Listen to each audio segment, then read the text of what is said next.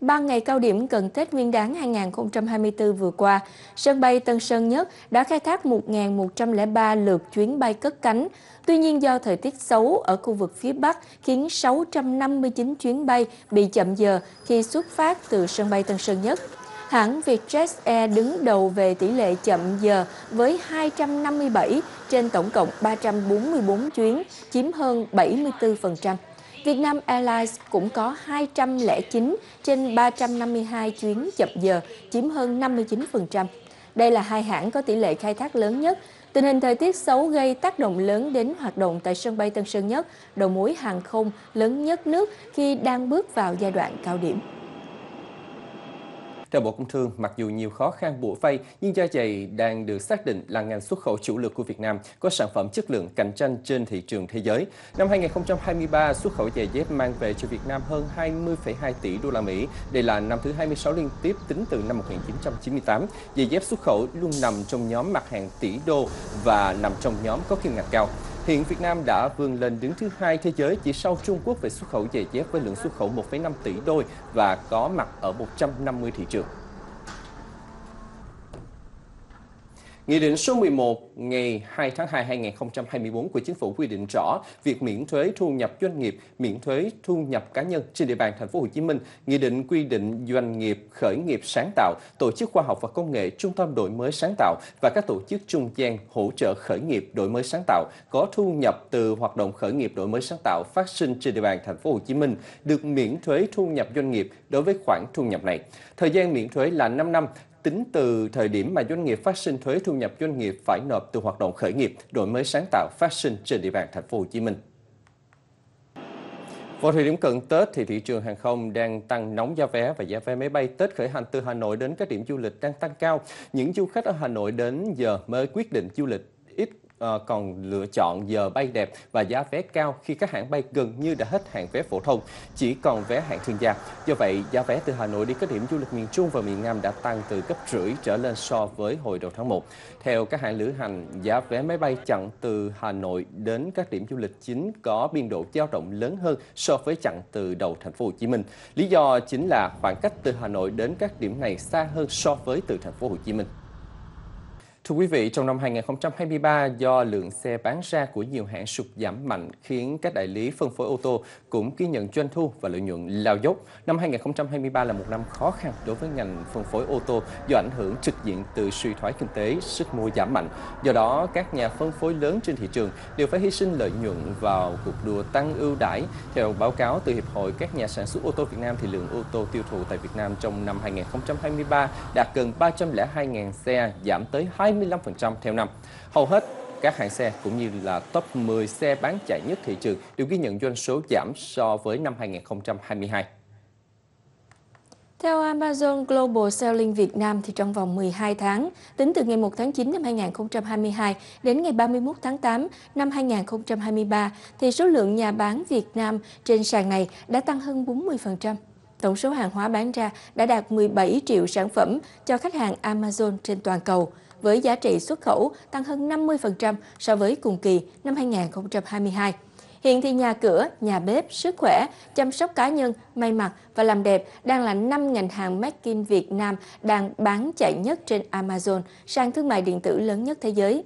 Amazon Global Selling đánh giá danh mục này phản ánh kinh nghiệm sản xuất lâu năm và các mũi nhọn xuất khẩu của Việt Nam như nội thất, trang trí nhà cửa và may mặc. Đặc biệt với sự thăng hạng của các ngành hàng đang trên đà tăng tốc trong năm gần đây như là ngành sức khỏe, chăm sóc cá nhân và ngành làm đẹp, bức tranh xuất khẩu trực tuyến của Việt Nam đang ngày càng mở rộng, mang đến nhiều hơn sự lựa chọn danh mục sản phẩm cho khách hàng toàn cầu. Chính phủ quyết định tiếp tục xuất cấp gạo từ nguồn dự trữ quốc gia cho các địa phương dịp Tết Nguyên đán Giáp Thìn và Giáp Hạt 2024. Trước đó thì Phó Thủ tướng cũng đã ký các quyết định xuất cấp gạo cho 12 địa phương. Cụ thể là Bộ Tài chính có nhiệm vụ xuất cấp không thu tiền hơn 1.444 tấn gạo từ nguồn dự trữ quốc gia cho các tỉnh An Giang, Tây Ninh, Lạng Sơn, Quảng Ngãi, Kiên Giang để hỗ trợ nhân dân trong dịp Tết Nguyên đán Giáp Thìn và Giáp Hạt 2024. Bộ Tài chính, Bộ Lao động Thương binh và Xã hội xử lý cụ thể theo quy định. Ủy ban nhân dân năm tỉnh trên chịu trách nhiệm về tính chính xác của số liệu báo cáo và thực hiện hỗ trợ kịp thời đối tượng định mức theo đúng quy định. Những ngày này thì các tuyến đường ở trung tâm Đà Nẵng đang rực rỡ sắc hoa. Những vị trí đẹp nhất, nhiều linh vật rồng, biểu tượng của năm Giáp Thìn 2024 đã cơ bản hoàn thiện, tạo không khí rộn ràng sắc xuân cho thành phố ven sông. Ủy ban nhân dân thành phố Đà Nẵng đầu tư gần 20 tỷ đồng trang trí hoa và điện chiếu sáng phục vụ Tết Giáp Thìn 2024. Trong đó có 15 vị trí trang trí hoa và 6 điểm đẹp khác với hàng nghìn chậu hoa muôn vạn sắc màu. Điểm nhấn của đường hoa năm nay là linh vật rồng đặt tại công viên Nam Dương, quận Hải Châu. Kinh phí làm linh vật này khoảng 150 triệu từ nguồn xã hội hóa, gây ấn tượng cho người dân. Là tôi cảm nhận là vườn hoa năm nay rất là đẹp. Tông màu chủ đạo mà tôi thấy đó là năm nay rất là rực rỡ đó là màu đỏ và màu vàng. Thì cái biểu tượng màu đỏ màu vàng là cái một cái biểu tượng à, đẹp sáng và hy vọng là à, sau hai năm cái à, mùa đại dịch Covid thì à, kinh tế Đà Nẵng phát triển hơn nữa và giống như là biểu tượng của con rồng à, à, cầu rồng á, là con rồng vươn ra biển lớn để kinh tế Đà Nẵng mỗi ngày mỗi phát triển mạnh hơn.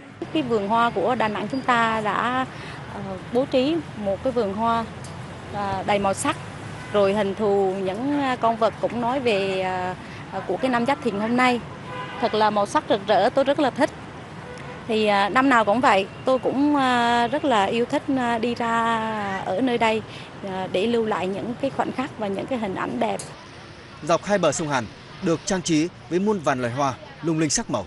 Thời tiết nắng đẹp, người dân và du khách đổ xô đến đây chụp hình, thưởng lãm. Hai ngày đẹp trời, em và cùng một nhóm bạn đi chụp hình được rất là nhiều những cái tấm hình đẹp và em hy vọng là năm nào là đường phố Đà Nẵng cũng có cái những đường hoa rực rỡ để cho người dân à, à, chụp hình Tết. Thưa quý vị, ngày 4 tháng 2 thì khá đông người lao động, học sinh từ các tỉnh Cà Mau, Bạc Liêu đang học tập, làm việc tại thành phố Hồ Chí Minh tỉnh Long An, tỉnh Bình Dương đã về quê đón Tết Nguyên đán Giáp Thìn 2024 đi qua địa bàn tỉnh Sóc Trăng, được lực lượng công an nhiều địa phương hỗ trợ xăng xe, nước uống miễn phí.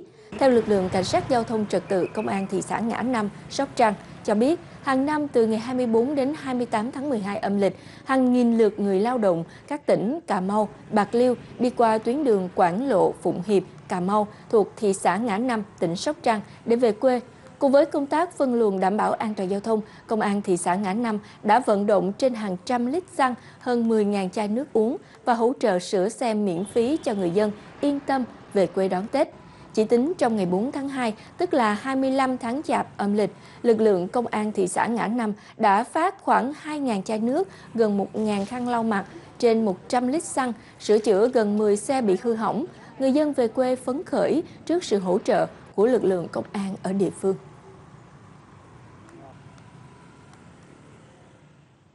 Tiếp đến cũng là một nội dung nghĩa tình và dễ thương từ phương Nam. À, có hai vợ chồng già, người hơn 80, người đã gần trăm tuổi, sống tại thành phố Vị Thanh của tỉnh Hậu Giang, vẫn ngày ngày tìm các loại thuốc nam giúp người. Việc làm của hai ông bà đã thực hiện suốt hơn 40 năm qua và được nhiều người dân trong vùng cảm mến. Cây này là cây hắc hương, để dành cho con nít uống rồi trị ho. Nó là cái dây này là hà thủ ô, trị máu huyết nè. Tôi trồng ở gốc nè.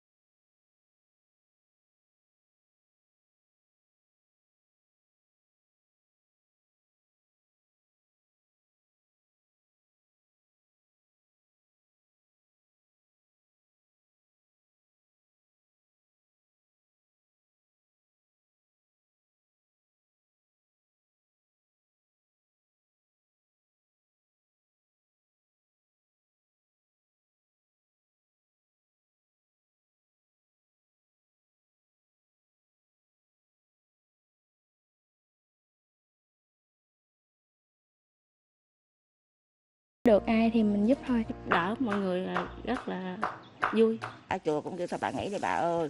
Người ta ham làm hoài chậm chậm nha làm này đem ơn. Làm đi chỗ nào cái chùa nào là không có thuốc thì làm đi. Chừng nào làm không nổi là thôi chứ còn nổi là cứ đi làm hoài. Thấy người ta uống hết bệnh chủ nhật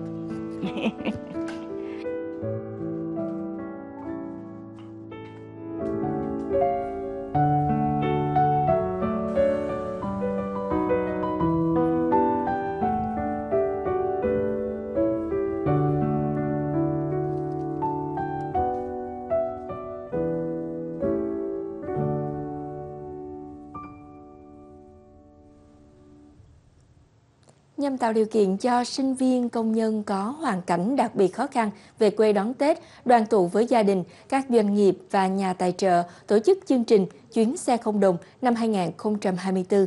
Chuyến xe không đồng khởi hành vào lúc 7 giờ sáng ngày 4 tháng 2, đưa hàng trăm sinh viên lao động về quê đón Tết. Vợ chồng anh Đức và chị Lam từ quê vào thành phố Hồ Chí Minh làm công nhân tại khu công nghiệp Sóng Thần nhiều năm nay. Vì đồng lương công nhân ít ỏi, chỉ đủ trang trải cuộc sống gia đình, tiền nhà trọ và học hành cho hai con, nên 10 năm qua hai vợ chồng không về quê đón Tết. Năm nay, gia đình anh chị được chương trình chuyến xe không đồng hỗ trợ vé xe về quê đón Tết. Rất vui và rất hạnh phúc khi được uh, sự hỗ trợ của các doanh nghiệp tài trợ cho để gia đình được uh, về quê ăn Tết xung vầy. 10 năm rồi là không uh, về quê ăn Tết cùng gia đình. Mỗi lần Tết về mà thấy uh, những người xung quanh về mà con cháu không được về thì ông bà rất trông ngóng. Được nhận vé xe trong chương trình chuyến xe không đồng về quê đón Tết, vợ chồng anh Ngọc, chị Hằng làm công nhân tại Bình Dương hết sức vui mừng bởi sắp được gặp hai con nhỏ và người thân trong gia đình sau thời gian xa cách. Rất chỉ là vui được các hội doanh nghiệp tài trợ cho chuyến vé không đồng về quê này. Thì qua đây thì tôi cũng xin cảm ơn các doanh nghiệp. Hôm nay là lần đầu em về quê thì em rất là vui. Về quê được ăn Tết với gia đình, với ba với mọi người trong gia đình. Cũng rất là cảm ơn ban tổ chức đã giúp đỡ tụi em được về quê. Ngoài hỗ trợ vé xe, các doanh nghiệp và nhà tài trợ đã trao các phần quà cho các bạn sinh viên, công nhân khó khăn về quê đón Tết cùng gia đình. Ban tổ chức đưa là đưa ra cái sứ mệnh để đưa cho người lao động cũng như ờ, sinh viên đang học tại ờ, thành phố Hồ Chí Minh và khu vực phía Nam để về sum họp với gia đình. Tôi chúc cho hành trình chuyến xe không đồng ờ, thường lộ bình an, đi tới nơi về tới chốn. Dự kiến 16 giờ ngày 5 tháng 2 năm 2024, chuyến xe không đồng sẽ đưa hàng trăm sinh viên, công nhân về quê năm nay. Cũng liên quan đến câu chuyện chuẩn bị đón Tết Nguyên đán Giáp Thìn năm 2024, các hoạt động đặc sắc của Ngày hội Văn hóa dân gian diễn ra tại thành phố Hồ Chí Minh đã thu hút đông đảo người dân và du khách. Đây là hoạt động được tổ chức nhằm bảo tồn, phát huy các giá trị văn hóa truyền thống của dân tộc, đồng thời xây dựng các điểm đến đặc trưng, các sản phẩm du lịch đặc sắc thu hút du khách. Nơi mà Linh Có đang đứng là cửa Nam ở chợ Bến Thành tọa lạc tại quận 1 thành phố Hồ Chí Minh. Hiện tại thì khu vực này có rất đông người dân và du khách đến đây để tham gia trải nghiệm ngày hội văn hóa dân gian với chủ đề à, Xuân gắn kết Tết yêu thương. Các hoạt động văn hóa truyền thống trong những ngày Tết cổ truyền được tái hiện hết sức sống động và thú vị về nét đặc trưng Tết ở Nam Bộ. Bên cạnh đó, gian hàng ẩm thực dân gian quy tụ món ngon ba miền giới thiệu đến bạn bè du khách trong và ngoài nước. À, khi mà tôi tới đây thì nói chung là thấy cái không khí ở đây là rất là nhộn nhịp, kiểu như là cũng phấn khởi. Nói chung là tất cả các món truyền thống dân gian của Việt Nam mình đầy đủ. Tôi rất là hạnh phúc khi đến đây, đến với thành phố Hồ Chí Minh của Việt Nam. Ẩm thực địa phương ở đây thì rất là ngon, còn con người ở đây thì rất là dễ mến. Họ luôn luôn nở nụ cười, tôi cảm thấy rất là thoải mái. Người dân và khách tham quan có thể tham gia các trò chơi truyền thống. Đây là cơ hội để mọi người cùng nhau tận hưởng không khí Tết và mang đến sự gắn kết trong một không gian văn hóa dân gian đầy màu sắc. Ngày hội văn hóa dân gian Tết Giáp Thìn 2024 diễn ra đến hết ngày 12 tháng 2 tới. Vừa mới đây, Trung tâm Bảo tồn Di tích Cố đô Huế tổ chức khai trương tuyến du lịch xanh thân thiện với môi trường tại khu vực Lăng Phu Gia Long, xã Hương Thọ, thành phố Huế. Việc đưa vào hoạt động tuyến du lịch xanh thể hiện tính văn minh tiện ích của điểm đến di sản này, tạo điểm nhấn tiện lợi trong hành trình tham quan của du khách. Mặt khác, tuyến sẽ tạo thêm các sản phẩm du lịch dịch vụ nhằm phát triển ngành du lịch địa phương theo hướng xanh, chất lượng, bền vững và thông minh theo định hướng phát triển của tỉnh Thừa Thiên Huế. Trong thời gian đầu, Trung tâm Bảo tồn Di tích Cố đô Huế sẽ triển khai đầu tư gần 80 phương tiện đi lại thân thiện với môi trường như là xe đạp, xe điện, xe ô tô điện. Qua đó có thể giúp bù đắp được khoảng 32 kg khí thải CO2 và 40 cây xanh hàng năm, cũng như là hướng đến việc thực hiện cam kết hành động của Việt Nam tại hội nghị COP26 về giảm thiểu khí thải, loại bỏ những uh, việc sản xuất điện bằng than vào năm 2040 và chấm dứt nạn phá rừng vào năm 2030. Thưa quý vị, lượng khách quốc tế đến với Việt Nam trong tháng 1 năm 2024 đạt hơn 1,5 triệu lượt người, tăng 73,6% so với cùng kỳ năm 2023, đã phục hồi như trước dịch và được dự báo là sẽ tiếp tục ổn định lượng khách trong tháng 2. Việt Nam cũng lọt top 5 điểm đến được ưa chuộng trong dịp năm mới. Ngoài sức hút từ thắng cảnh, ẩm thực và các di sản, khách quốc tế đến với Việt Nam trong dịp này còn được trải nghiệm không khí rộn ràng đón Tết cổ truyền của người Việt với hàng loạt hoạt động thú vị và những lễ hội đặc sắc. Nữ du khách này cùng bạn trai đến từ Australia đã có một trải nghiệm tuyệt vời trong những ngày lưu trú tại thành phố Hồ Chí Minh. Đó là được hòa trong không khí rộn ràng, không gian đậm nét cổ truyền Tết Việt và đặc biệt là được mặc áo dài. Áo dài Việt Nam đẹp quá. Tôi đã mua một chiếc áo dài ở đây để mặc trong dịp Tết ở đất nước của các bạn. Những ngày cuối tháng 1 đầu tháng 2 cũng là thời điểm cận Tết Nguyên đán Giáp Thìn, hoạt động vui xuân đón Tết tại thành phố Hồ Chí Minh đã rất sôi động. Khách trong nước, khách nước ngoài tấp nập dạo chơi, tham quan, chụp ảnh, trải nghiệm không khí năm mới tại chợ Bến Thành, đường Nguyễn Huệ, đường Lê Lợi, các khu vực trang hoàng Tết ở trung tâm thành phố. Mùa Tết năm nay, khách sạn chúng tôi đón một lượng lớn khách lưu trú đến từ nhiều nước. Đây là tín hiệu vui khi khách quốc tế đã quay trở lại Việt Nam. Khách mùa này chủ yếu là khách du lịch, một số khách công tác theo đoàn hoặc cá nhân với thời gian lưu trú khá dài. Việt Nam được nhiều tạp chí du lịch và công ty lữ hành quốc tế xếp trong top 5 điểm đến được ưa chuộng nhất trong dịp năm mới. Năm thị trường khách lớn nhất đến Việt Nam dịp này với ngày nhận phòng từ 1 tháng 12 năm 2023 đến ngày 29 tháng 2 năm 2024 là Hàn Quốc, Australia, Mỹ, Anh và Singapore. Ghi nhận từ các công ty lữ hành ở thành phố Hồ Chí Minh, năm nay đón khá nhiều đoàn khách lớn. So với mọi năm, khách quốc tế thường đi nhóm nhỏ, gia đình